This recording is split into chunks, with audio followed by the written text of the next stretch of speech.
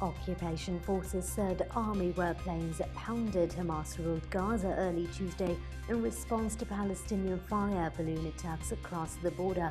A Hamas source said these strikes came as visiting Egyptian security officials strived to defuse the latest uptick in violence. The occupation forces linked the airstrikes to explosive and arson balloons launched from the Gaza Strip into the occupied territories. The Hamas source said that the group had held talks with the Egyptian delegation in Gaza on Monday before it left the territory for meetings with the Israelis and the West Bank-based Palestinian Authority. The head of Lebanon's Customs Authority has been formally arrested after being questioned over the massive explosion in Beirut. The investigation is focused on why nearly 3,000 tons of explosive ammonium nitrate was being stored at the city's port. The ignition of the stockpile caused an explosion that tore through the capital, killing at least 180 people and wounding 6,000. 30 people are still missing after the August 4th blast. According to officials, several rockets struck the Afghan capital Tuesday as the country marked the 101st anniversary of its independence. The Interior Ministry spokesman said there were no immediate reports of casualties after the rockets were fired from two vehicles in Kabul. The rockets struck the capital after President Ashraf Ghani participated in an Independence Day ceremony at the presidential palace. Airlines and airports will ask a UN-led task force meeting on Tuesday to recommend countries accept a negative COVID-19 test within 48 hours of travel as an alternative to quarantines that have decimated demand for travel. The industry wants the task force to make the recommendation for passengers traveling from countries with high COVID-19 infection rates when it meets on Tuesday to review guidelines for international travel amid the pandemic. The push for testing comes as the industry's hopes for a recovery where Delta blew last week when Britain reintroduced quarantines on travellers from France and the Netherlands. South Korea has reported a three-digit increase in coronavirus cases for a fifth day in a row as authorities scramble to trace hundreds of members of a church congregation and the military lockdown bases to curb new infections. The Korea Centers for Disease Control and Prevention reported 264 new cases as of Monday midnight, two days after the reimposition of stricter social distancing curves in the Seoul metropolitan area. South Korea has been one of the world's coronavirus mitigation success stories, but it has suffered repeated spikes in infections and the total number of cases stood at 15,761, including 306 deaths. The Vice Health Minister said as of Tuesday, at least 383 infections have been linked to Sarang Jeil church members 10 of whom were confirmed to have attended anti-government demonstrations over the past two weekends in downtown Seoul. State media on Tuesday quoted Chairman Liu Jingzhen as saying a potential coronavirus vaccine being developed by a unit of China National Pharmaceutical Group, Sinopharm, could cost no more than 1,000 yuan for two shots. Sinopharm has said its experimental vaccine could be ready for public use by the end of this year.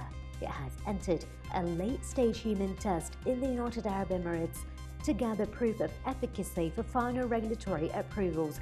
Governments and drug makers around the world are in a forensic race to develop a COVID-19 vaccine. More than 200 candidates are in development, including more than 20 in human clinical trials. Prime Minister Jacinda Ardern has denied a claim from US President Donald Trump that New Zealand was experiencing a big surge of COVID-19. President Trump made the call during a trademark speech on Tuesday on the campaign trail in Minnesota ahead of the November's presidential election. An outbreak in Auckland, which currently tallies 70 cases, has prompted Premier Ardern to put the country's biggest city back into lockdown. New Zealand has had 1,293 cases of the coronavirus, with 22 deaths. Health officials announced just 13 new cases on Tuesday. US President Donald Trump added a trip to Iowa to his Tuesday schedule as his support lives in a swing state that's recovering from a storm, even as it was already suffering the economic effects of COVID 19.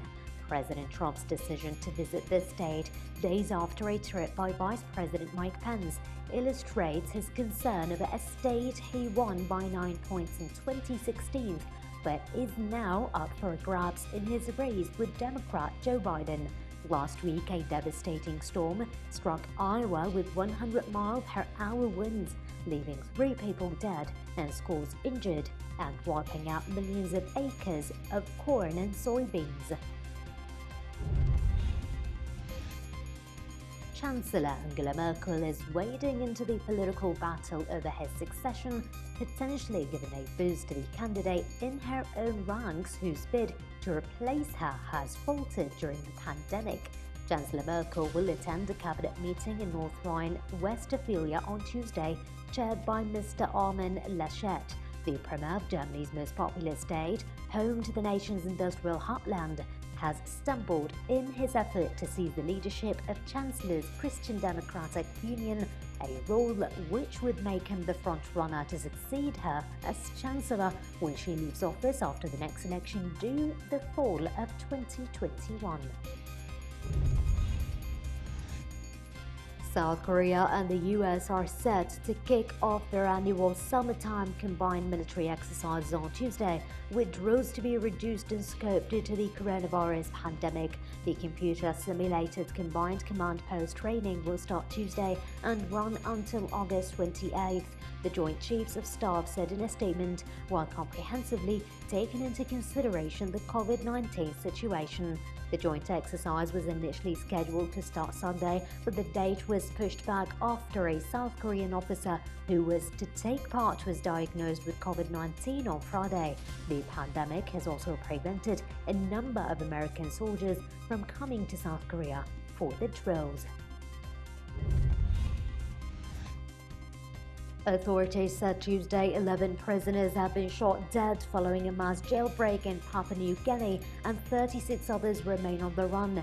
The detainees escaped from Buimo prison in the Pacific nation's second biggest city, Lae, after rushing a gate. When a sick prisoner was being moved for medical treatment, the group overwhelmed a duty officer and attacked him with a knife before running from the prison compound.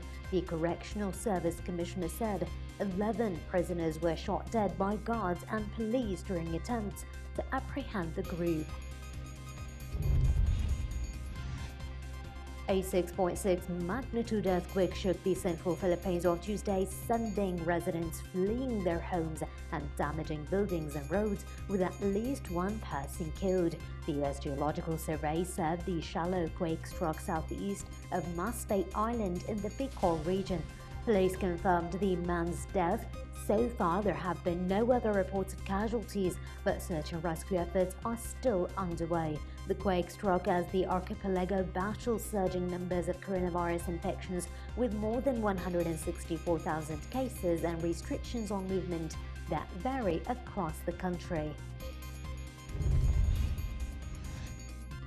The Trump administration is further tightening restrictions on China's Huawei, seeking to strip it of crucial components by cutting off all access to US technology. The Commerce Department's new rules will further block Huawei from accessing chip technology.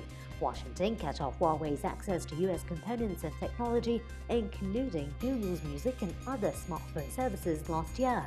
Those penalties were tightened in May when the White House barred vendors worldwide from using US technology to produce components for Huawei.